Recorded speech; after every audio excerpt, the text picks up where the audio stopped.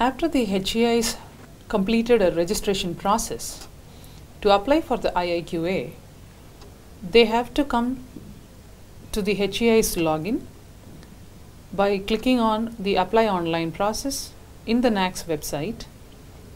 This leads you to this page after filling in the registration email ID and a password and CAPTCHA, the login. Now, this is the page for the HEI's portal. The HEI has to stay in tune for the entire process of assessment and accreditation with their HEI's portal. All the information regarding the important dates, the notification, and all kind of information will be sent only through the portal. The IIQA is the institutional information for quality assessment. In the earlier methodology, this was through a letter of intent LOI and institutional eligibility for quality assessment put together in an RAF. It is called as the IIQA. Now, IIQA marks the beginning of the process for the assessment and accreditation of an institution. While you have to apply an IIQA, you have to go to Manage IIQA and Prepare IIQA. This is the dashboard that shows the details of the IIQA. This has five major elements where the information are sought. You would not be able to go to the next information until you furnish the details of the previous one, such as first is the basic eligibility. The basic eligibility details have to be filled in, only then you will be able to go to the affiliation compliance or profile information or academic information or quality information. Now the basic eligibility seeks for an information whether you are applying afresh for accreditation or it is for a reassessment. For details regarding reassessment, you may please refer to the NAAC manual hosted in the NAAC website. The cycle of accreditation, as in the previous video, we have said that we wanted to apply as a cycle 1, so it is appearing as cycle 1. If you were a cycle 2 or cycle 3 institution, the same will be validated in the database of NAAC and the same would appear here. The name of the higher education institution is as per the registration record, this would be appearing. We would now have to fill in the city, state, details. The date of establishment of the institution is a crucial component for the eligibility for assessment and accreditation. As on date, we require the institution to have been completed at least six years of its existence or must have produced at least two graduation batches. Now the establishment year of an institution you can give here and the date of establishment you can select here. So when such is done, year of graduation of last two batches has been sought. The year of graduation for our institution as Pragati Commerce and Science College would be 2016, 2017 batch and 2018 May batch. So two years of graduation is complete. Then when I say and go to the next, which means I have cleared the criteria set by NAAC for the eligibility that the institution Pragati Commerce of Science and College has completed minimum six years of its existence and it has uh, produced two graduation batches. So it has to be okay. After accomplishing the basic eligibility, affiliation compliance can be filled in. We have entered here as an affiliated institution, as a college which is affiliated to an university. Hence, we will restrain yes. But for universities, this would not appear. Understanding this, when we say that we are an affiliated institutions, necessary affiliation details has to be provided as which university that we are affiliated to. It is always possible that for a college to have more than one affiliation from different institutions, different universities. Like for example, if I have two institutions and I could have affiliation from Bangalore University and from Rajiv Gandhi University of Health Sciences. There are two parameters that have to be kept in mind in this affiliation letter. The affiliation letter should bear the institution's name, what is being provided in the name of the higher education institution in the registration document. Apart from this, the affiliation letter should also have the current year affiliation. Now it is Bangalore University affiliation letter and the Rajiv Gandhi University affiliation letter. Now while doing so, is the college offering program recognized by statutory regulatory authority? Now the programs that are offered by an institution, some programs require the SRA, that is statutory regulatory authorities, permission to run the program such as AICTE, NCTE, MCI, DCI, BCI, INC, RCI, etc. Now, if at all you have any such programs, please say yes. Or if it is a simple arts and science college which requires no affiliation of AICTE or any other statutory regulatory authority, you may say no and proceed. But if you say yes, the detail of these have to be provided. For better understanding of SRA, please click on the tooltip that will say about the details of the SRA. Now for our exercise, let us assume that we require the AICTE's approval, we require the Pharmaceutical Council of India's approval and the MCI, Medical Council of India's approval. Now when we add these three approvals, the document of the current approval of the AICTE, current year approval of the PCI and current year approval of the MCI has to be uploaded.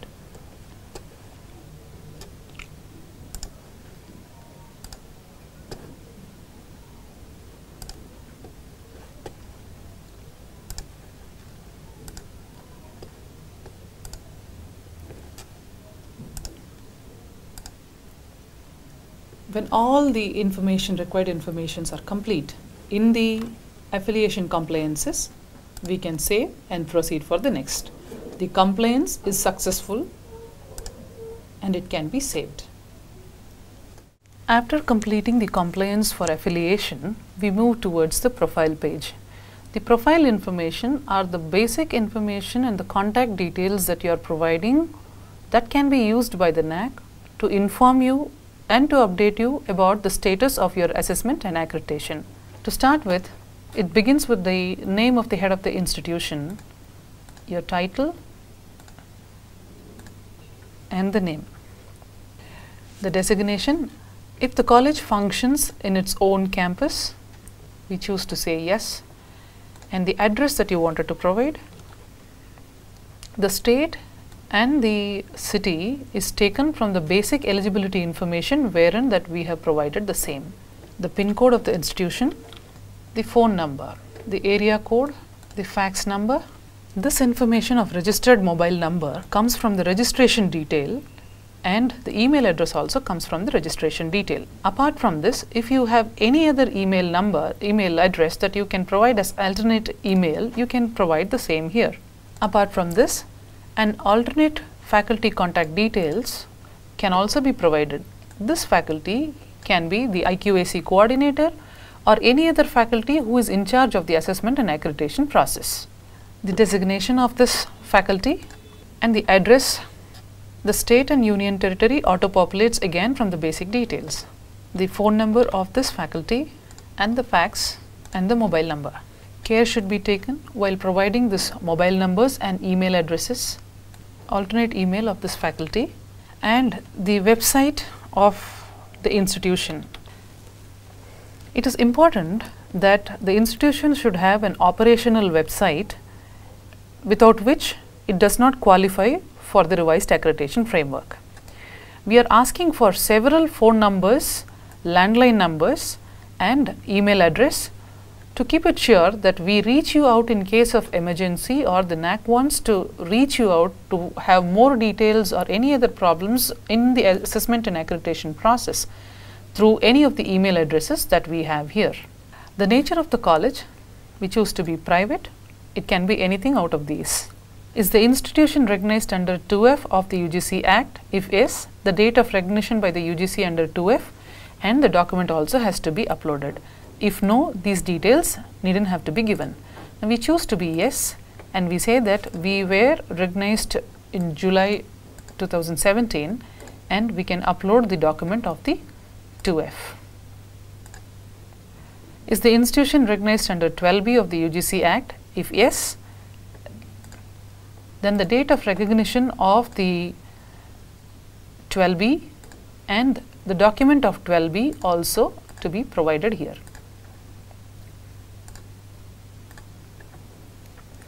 Is the institution recognized as autonomous college by the UGC? If yes, the autonomous status document of the institution that has been provided by the UGC has to be uploaded here. As we have registered as affiliated college, we say no here. Is the institution recognized as college with potential for excellence CPE? If we say yes, then the CPE document provided by the UGC has to be uploaded here we choose to say no here. If the institution recognized as a college of excellence, we say yes and the college of excellence document provided by the UGC has to be uploaded here.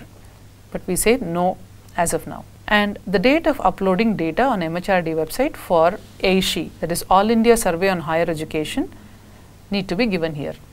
MHRD expects every institution to update their details every now and then.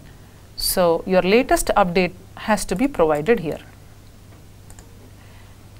And we also need to give provide the AISHE certificate of registration that contains the name of the institution and the AISHE ID which will be verified during the IIQA process. This also need to be attached here.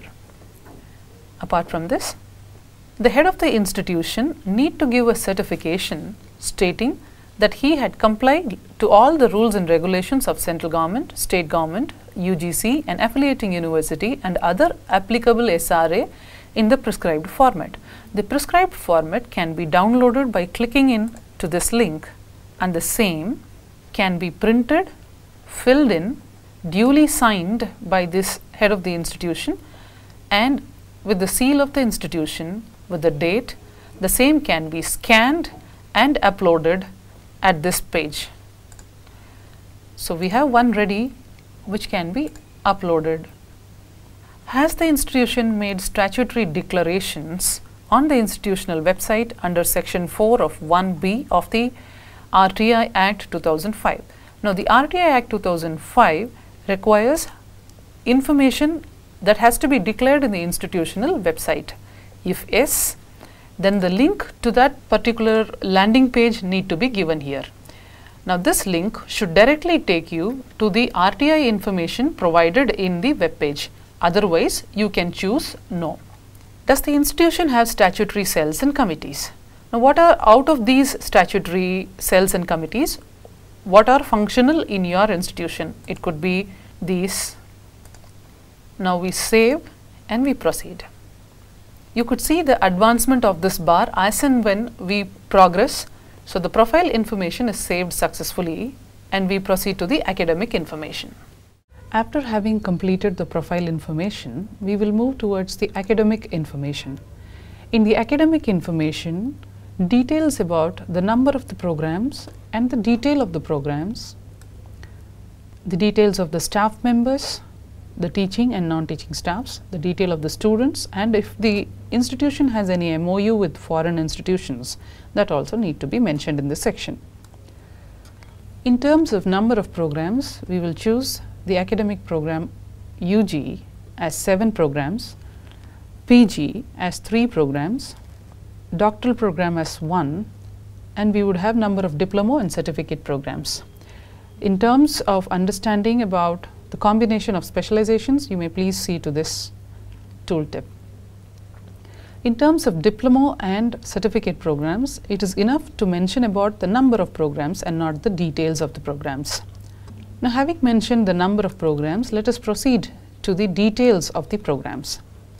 The detail of the program seeks for the departments, programs, affiliating university, the statutory regulatory authority and the affiliation status.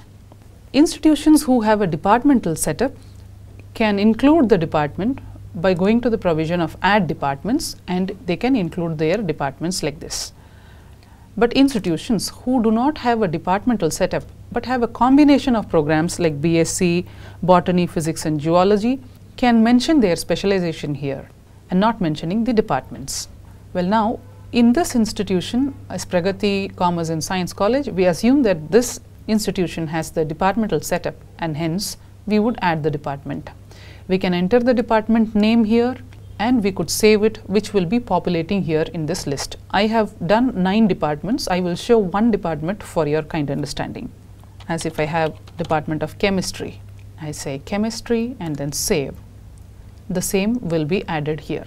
And if you want to delete, you can delete here like this. After having added the list of department, you have to provide the program details here. As you type the program as BSc, it will auto-populate and it is essential that we choose one among these as BSc and the department is botany. So, it is a BSc botany course that we wanted to say and it is affiliated to Bangalore University. It does not require any SRA approval and the affiliation status we remind to be temporary. right?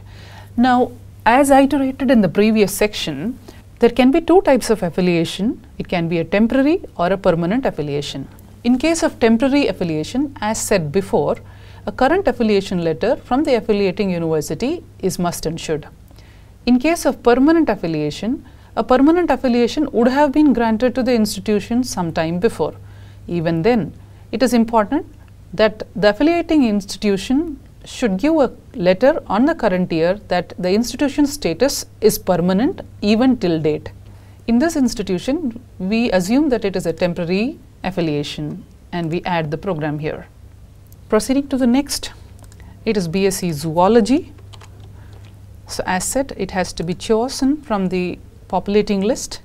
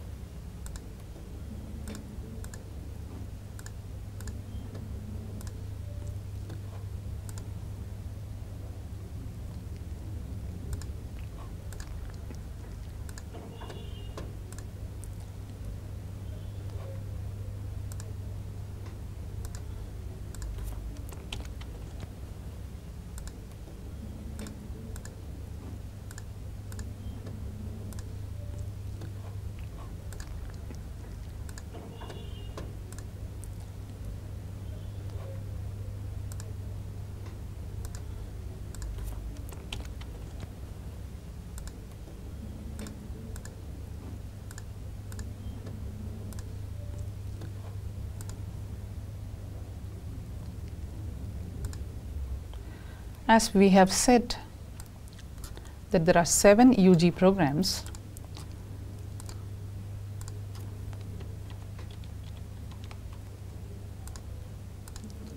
and this program MBBS is affiliated to the Rajiv Gandhi University of Health Sciences. We have earlier iterated that we have been affiliating to two universities, one is Bangalore University and other one is Rajiv Gandhi University of Health Sciences. And this MBBS course is affiliated to Rajiv Gandhi of Health Sciences and hence we choose Rajiv Gandhi University of Health Sciences. It requires an SRA approval of Medical Council of India and we have already uploaded the Medical Council of India's SRA approval letter and we add this here. In terms of post graduation courses, MCA needs the AICTE approval.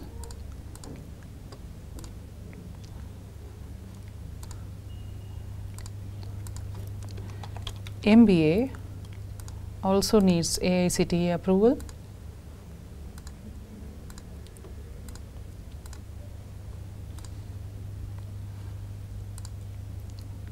We would also have a M Pharma course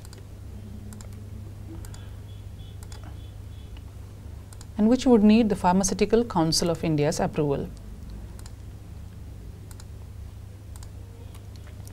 As we have stated that we have one doctoral degree, we would be having a PhD program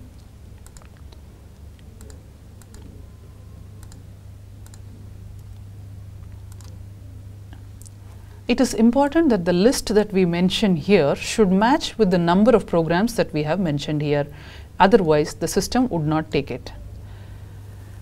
Now, understanding these, going ahead, we need to mention a self declaration by the head of the institution with reference to the affiliation status.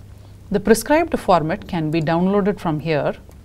The self declaration should mention all the programs that has been offered by the institution as mentioned in the IIQA with the serial number of the program, the name of the program, the program duration as a number of years and the current affiliation status as permanent or temporary.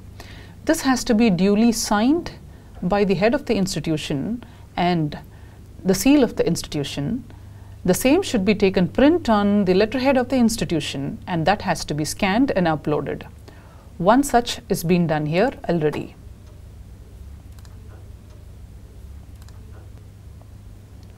After completing the program details, we move towards the details of staff members. Now this talks about how many permanent teaching staff members, the number of other teaching staff members and non-teaching staff members. All other teaching staffs engaged by the institution excluding permanent staff members like ad hoc faculties also. We would choose that we would be having 30 permanent male staff members and 20 female staff members that makes the count automatically as 50. The other staff members we would be having around 15 male ad hoc faculties and 20 female ad hoc faculties and makes the count 35.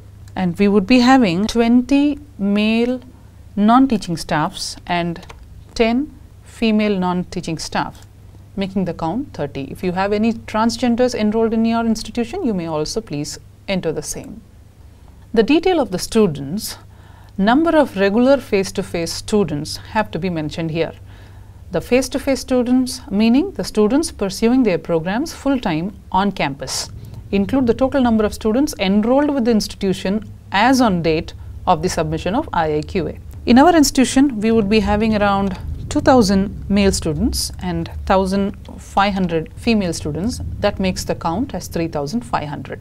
Now coming to the next section of academic MOU, assuming that our institution has a MOU with Dundee University Department of Dentistry, we say yes. If we say yes, then that MOU document should be uploaded here. Otherwise, we can just say no and proceed.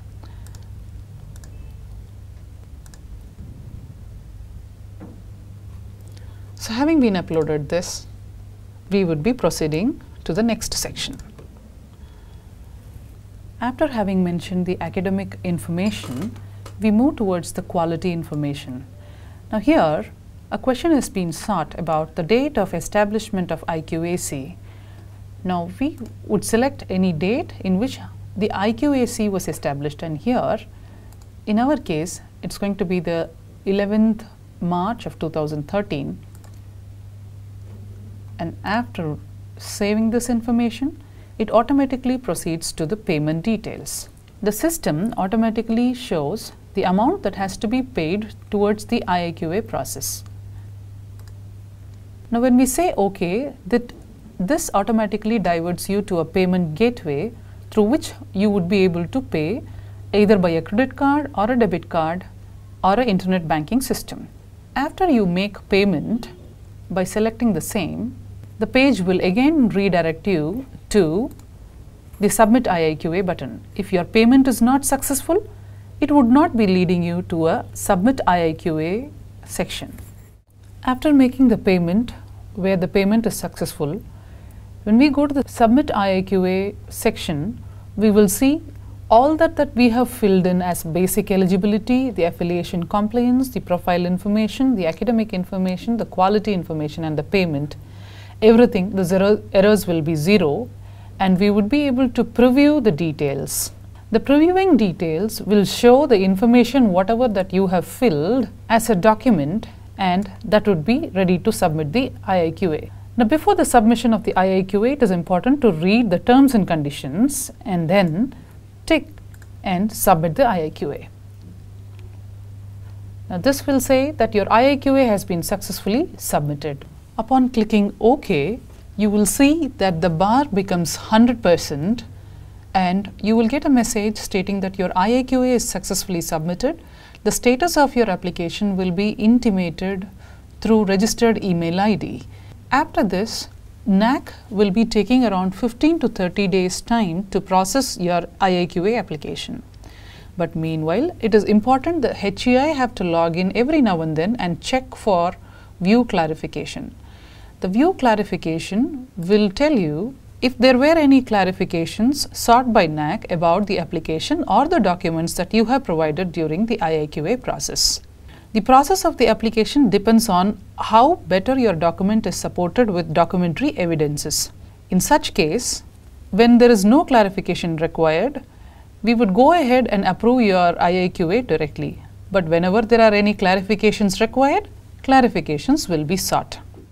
Let us assume that you have been checking your IIQA clarification every now and then, but one fine day you have been found in the dashboard that you have one pending clarification.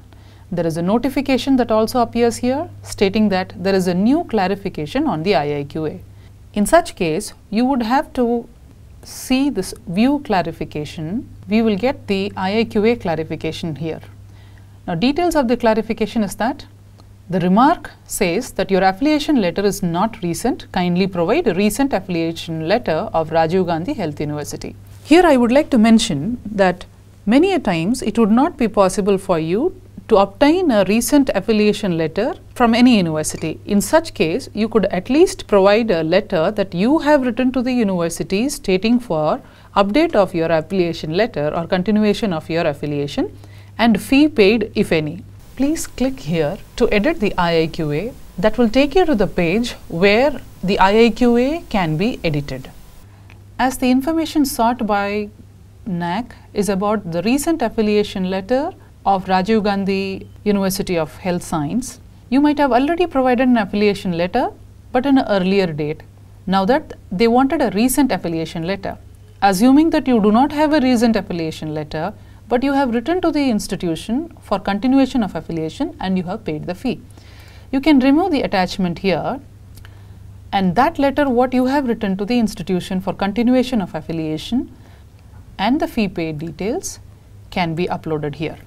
Upon completing the necessary editing that you require to do in the IIQA, you may please click View IIQA Clarification in order to submit your response.